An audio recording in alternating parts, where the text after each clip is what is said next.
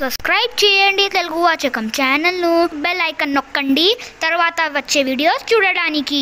ఈ ఏడాది పదవ తరగతి విద్యార్థులకు పరీక్షా విధానంలో కొన్ని మార్పులు చేసింది ప్రభుత్వం. మారిన పరీక్షా విధానాన్ని అనుసరించి సిలబస్ మనకు ఏదొస్తుంది? ఎంత సిలబస్ వస్తుంది? మరి వంద మార్కుల ప్రశ్నపత్రాన్ని మనం జనరల్గా అయితే టూ పేపర్స్గా రాసుకునే వాళ్ళం మనకి ఇంటర్నల్ మార్క్స్ పేపర్ వన్లో ఇరవై పేపర్ టూలో ఇరవై పోయిన నలభై నలభై మార్కులకు ప్రశ్నాపత్రం ఉండేది. కానీ ప్రస్తుత పరీక్షా విధానంలో మనకు ఒకటే పేపర్ ఉంటుంది. ఆ ఒక్క పేపర్ ఎనభై మార్కులకు ఉంటుంది. ఇరవై మార్కులు మనకు ఇంటర్నల్ మార్క్స్ ఉంటాయి. మరి ఆ ఎనభై మార్కులకు విద్యార్థులు ఎలా సిద్ధం కావాలి?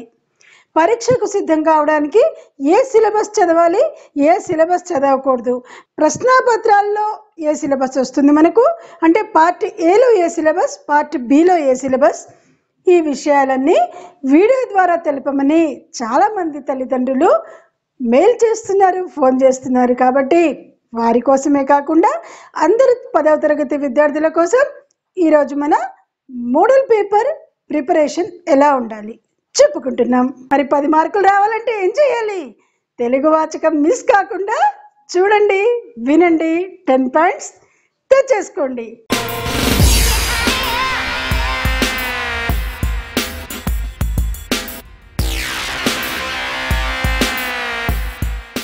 నమస్తే నేను సుల్తానా. మీరు చూస్తున్నారు తెలుగు వాచకం. ఈ ఏడాది పాఠశాలలు సరిగా జరగకపోవడంతో పరీక్షల విషయంలో పూర్తిగా పద్ధతి మార్చేశాయి ప్రభుత్వాలు. అంటే వంద మార్కుల ప్రశ్నాపత్రాన్ని రెండు ప్రశ్నాపత్రాలుగా కాకుండా ఒకటే ప్రశ్నాపత్రంగా తీర్చిదిద్దారు తెలంగాణ విద్యాశాఖ ప్రకటించిన వివరాల ప్రకారం. ఇప్పటికే సిలబస్ను డెబ్భై శాతానికి కుదించారు. అంటే ముప్పై శాతం పాఠాలు చదవక్కర్లేదు.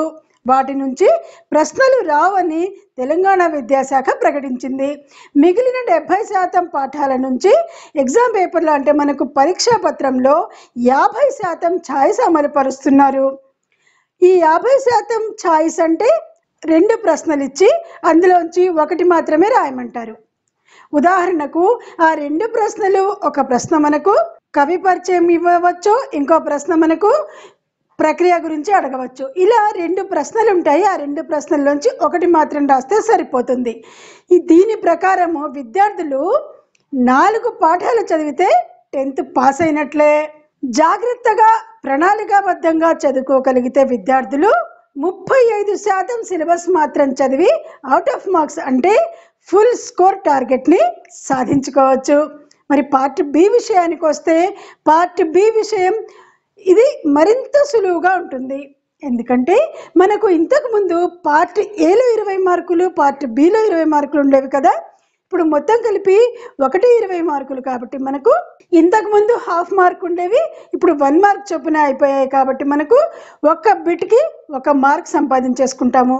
ఈ ఏడాది పరీక్షా విధానం అనేది చాలా సులువైపోయింది కాబట్టి విద్యార్థులు చాలా ఈజీగా పాస్ అయిపోవచ్చు. టెన్ మార్క్స్ తెచ్చుకోవచ్చు అని సంబరపడిపోకండి.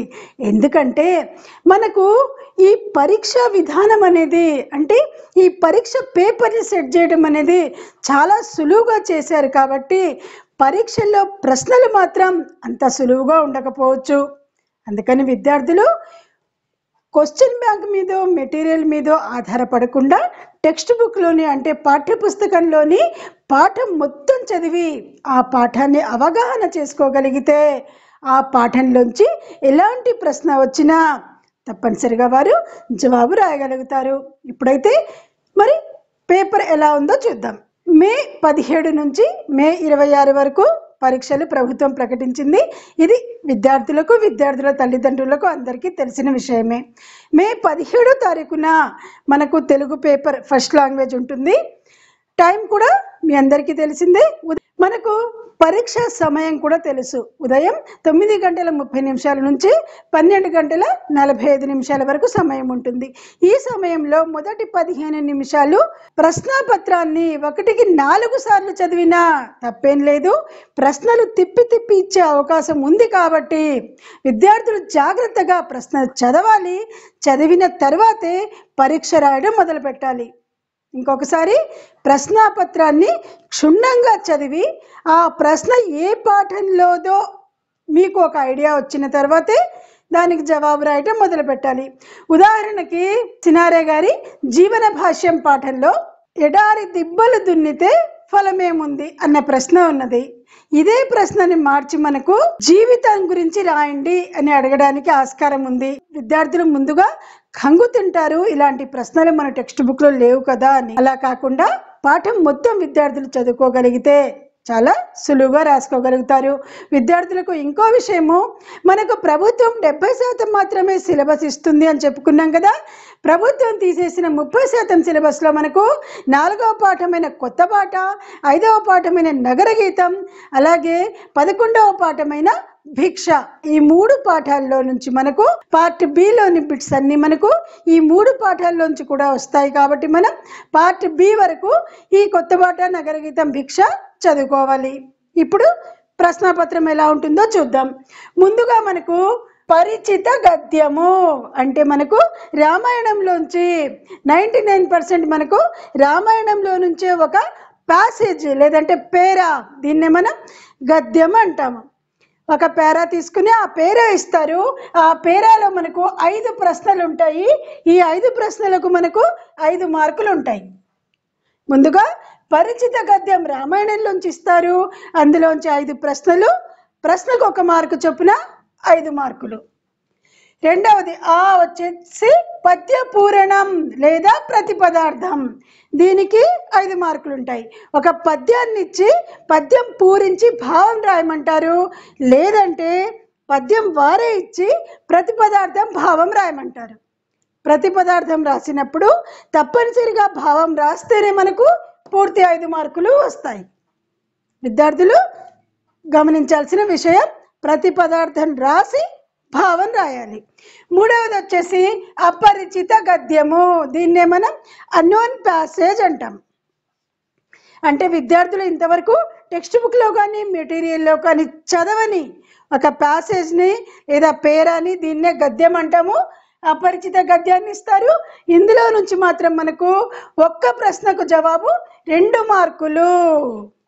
ఒక ప్రశ్నకు జవాబు రెండు మార్కులు చొప్పున ఐదు ప్రశ్నలు పది మార్కులు. ఇక్కడికి మనకు ఇరవై మార్కులు అయిపోతాయి.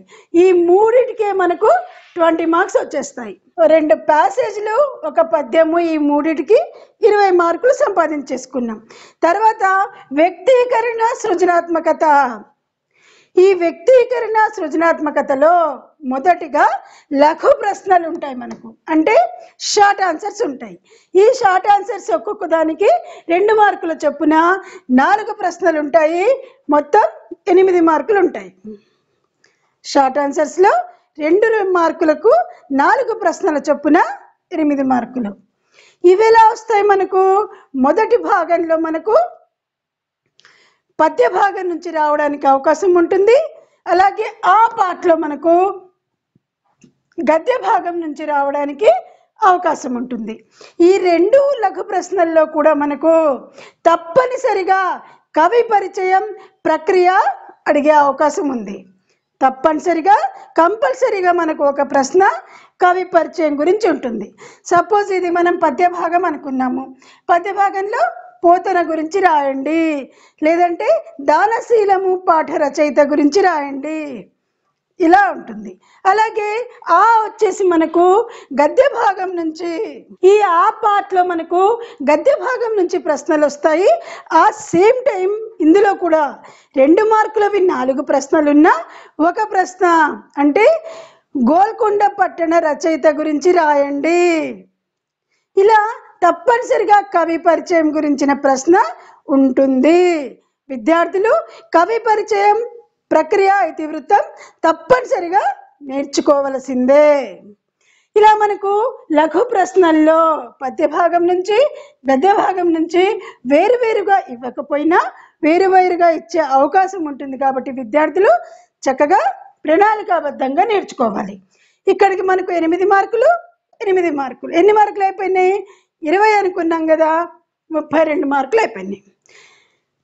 తర్వాత వ్యాస రూప ప్రశ్నలు వ్యక్తీకరణ సృజనాత్మకతలో లఘు ప్రశ్నలు ముందుగా ఇస్తారు. ఆ తర్వాత మనకు వ్యాస రూప ప్రశ్నలు ఇస్తారు. ఈ వ్యాసరూప ప్రశ్నల్లో కూడా ఒక ప్రశ్నకు ఎనిమిది మార్కుల చొప్పున రెండు ప్రశ్నలు ఉంటాయి. మళ్ళీ ఇందులో కూడా పద్య భాగం నుంచి ఒక ప్రశ్న గద్య భాగం నుంచి ఒక ప్రశ్న రావడానికి అవకాశం ఉంటుంది. విద్యార్థులు కన్ఫ్యూజ్ కాకూడదు.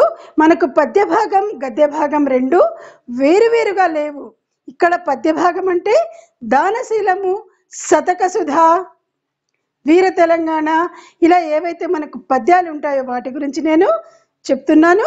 ఏవైతే వచనంలో ఉన్నాయో అవి గద్య భాగం అవుతుంది. విద్యార్థులు ఒకటికి రెండు సార్లు వీడియో వినండి. కన్ఫ్యూజ్ అవ్వకుండా చక్కగా నేర్చేసుకోండి. మార్కులు సంపాదించుకోండి. ఇలా మనకు వ్యాసరూప ప్రశ్నలు కూడా ఒకటి ఎనిమిది మార్కులకు ఇంకొకటి ఎనిమిది మార్కులకు చొప్పున ఉంటాయి. ఆ తర్వాత థర్డ్ వన్ వచ్చేసి ఇందులో మనకు ఇదివరకు పరీక్షల్లో ఎలా ఉండేవో అలా అన్నమాట. లేఖ కరపత్రం నినాదాలు సూక్తులు అలాగే ప్రశ్నావళి వ్యాసం మళ్ళీ వ్యాసంలో అభినందన వ్యాసం ఇంటర్వ్యూ అన్న ప్రశ్నావళి అన్న ఒకటే కదా మనకు ఇంటర్వ్యూ చేయడం.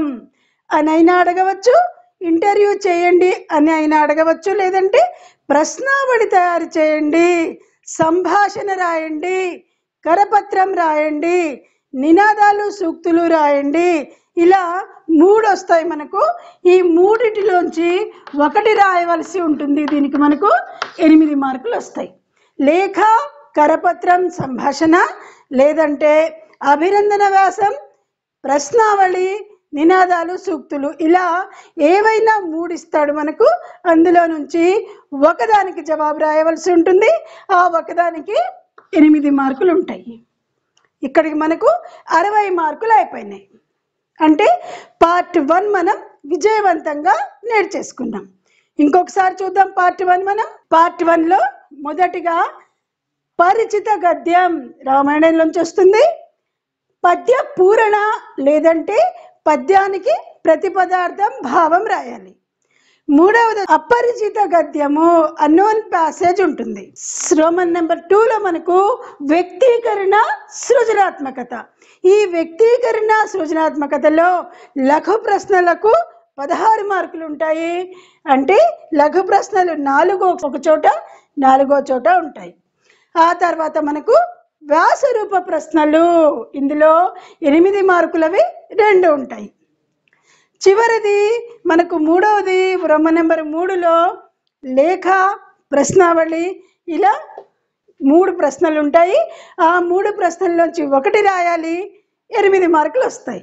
ఇక్కడితో మనకు పార్ట్ ఏ పూర్తయిపోతుంది. మరి పార్ట్ బిలో ఏమొస్తాయి? పార్ట్ బిలో ఏమొస్తాయంటే ముందుగా మనకు ఇంతకుముందు క్వశ్చన్ పేపర్లో ఉన్నట్టే రెండు సొంత వాక్యాలు ఇస్తారు. రెండు పదాలనిచ్చి వాటిని సొంత వాక్యాల్లో రాయమంటారు. అవి మాత్రం మనం రాయాలి పెన్తో రాయాలి. మిగతావన్నీ మనకు మల్టిపుల్ ఛాయిస్ ఉంటాయి. వాటికి మనం ఏబిసిడీలు టిక్ చేస్తే సరిపోతుంది. పదజాలం మనకు తొమ్మిది ఉంటాయి తొమ్మిది మార్కులు ఉంటాయి. ఈ పదజాలంలో మనకు అర్థాలు సమానార్థకాలు పర్యాయ పదాలు నానార్థాలు ఉత్పత్తార్థాలు ప్రకృతి వికృతి వస్తాయి. తర్వాత బిట్ వచ్చేసి వ్యాకరణం. వ్యాకరణానికి తొమ్మిది మార్కులు ఉంటాయి వ్యాకరణంలో బిట్స్ కూడా మనకు తొమ్మిది ఉంటాయి. మరి వ్యాకరణంలో ఏమొస్తాయి? వ్యాకరణంలో సంధి విడదీయండి సంధి గుర్తించండి సమాసం పదం పేరు చెప్పండి సమాసం పదం రాయండి. ఇలా మనకి ఏవైతే ఉన్నాయో అలంకారాలు గణ విభజన అలాగే మరి మనకు పరుషాలు సరళాలు ఉన్నాయి కదా. ఒక్కో సందర్భాల్లో పరుషాలు గుర్తించండి సరళాలు గుర్తించండి. పదవ తరగతి విద్యార్థులకైనా వస్తాయి. జాగ్రత్తగా గుర్తుపెట్టుకోవాలి. వాక్యాలు ఇది ఏ వాక్యం? కర్తరి కర్మణి వాక్యాలు సామాన్య వాక్యాలు సంశ్లిష్ట వాక్యాలు సంయుక్త వాక్యాలు ఇలా వ్యాకరణానికి సంబంధించిన ఏవైతే మనం ఇంతవరకు చెప్పుకున్నామో వ్యాకరణంలోని ప్రతి ఒక్క బిట్ కూడా మనకు వచ్చే అవకాశం ఉన్నది కాబట్టి పైగా మనకు ఒక్క బిట్కి ఒక మార్క్ కాబట్టి చాలా కీలకమైనది. ఒక్క బిట్ తప్పు రాసినా మనం ఒక మార్క్ పోతుంది. విద్యార్థులు ఈ విషయాన్ని గమనించాలి. అదే బండ గుర్తు పెట్టుకోవాలి. ఒక్క మార్క్ పోయినా మనకు టెన్ పాయింట్స్ వచ్చే అవకాశం మనం చేజార్చుకున్నట్టే.